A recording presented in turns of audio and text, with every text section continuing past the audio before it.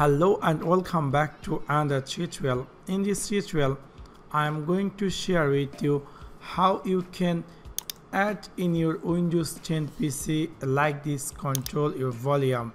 Really maybe somehow it will be useful for you to uh, modify or customize your volume. Maybe you had opened many kind of media or etc etc.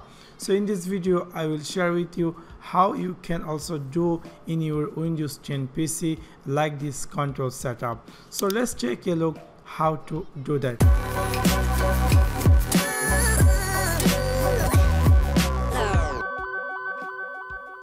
In order to do that i'm going to download a application which is called EarTrumpet i'm going to download this from microsoft store. So i'm going to open microsoft store and then here i'm going to type EarTrumpet and then i'm going to search.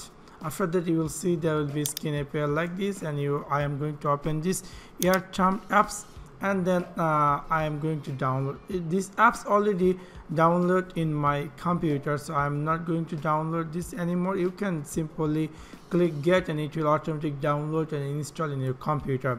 I will put this uh, apps link in my video description so you can directly switch to Microsoft Store to download these apps. And after that when you download and finish and you will see automatic these apps will appear to volume control. Like this is the default volume control for Windows and the additional EarTrumpet volume control. So if you click here all the media or video you was played in your uh, computer it will appear here and you can control whatever volume you would like to control which was particular.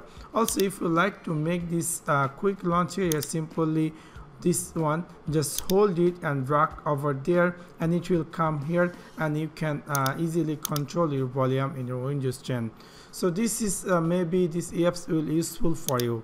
So that's for now. Thanks for watching my video. See you next one. Peace